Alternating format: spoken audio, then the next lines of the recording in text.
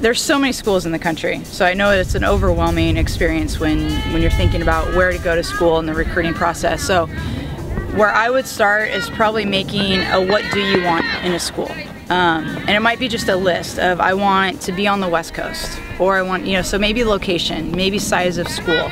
If you know that you want to be at a bigger school with a lot of students and you're okay with that and in big classroom sizes, then that's a whole demographic of schools that you're going to add to your list. But like I said with USD with smaller class sizes, if you feel that you perform better in that learning environment, then you might want to be in a smaller a school at a smaller class size. So maybe it's you know you want to be in a certain region or location because of weather or because you want to stay close to home.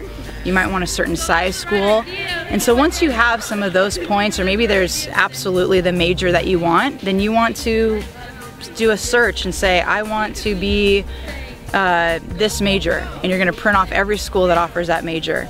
And then you start to look at those schools and hit what region they're in. And so now all of a sudden you've created just based on three points that you're looking for you've now created a short list of schools. So I would start with some things that you know that are important to you and then once you have those those schools narrowed down you got to get on campus. You need to see it with your own eyes. You can see pictures online, you could research, you can look at all those points, but once you have it down to maybe your top 10 or 15 or 20, now you're getting to those campuses. And maybe just with your parents, you're walking around the campus, getting a feel for it. Call the admissions office, sign up for their campus tour, and they'll take you through a tour. Um, if you have a relationship with the, the softball coaches, the coaches will take you on a tour or go to a camp that they're offering. That's a great way to get on campus, get to know the coaches, see what their style is.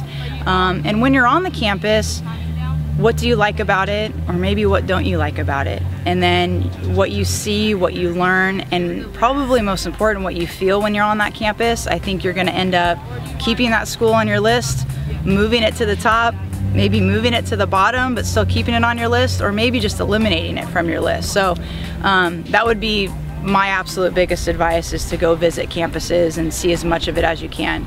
And then ask yourself if this is one of your, your top choice or your top three, ask yourself, can I see myself at this school, at this university? What if softball was removed from my life? What if, unfortunately, you had a career ending injury? What if the coaching staff left for whatever reason? Could you see yourself at this school without softball? That should be your final question that you ask yourself.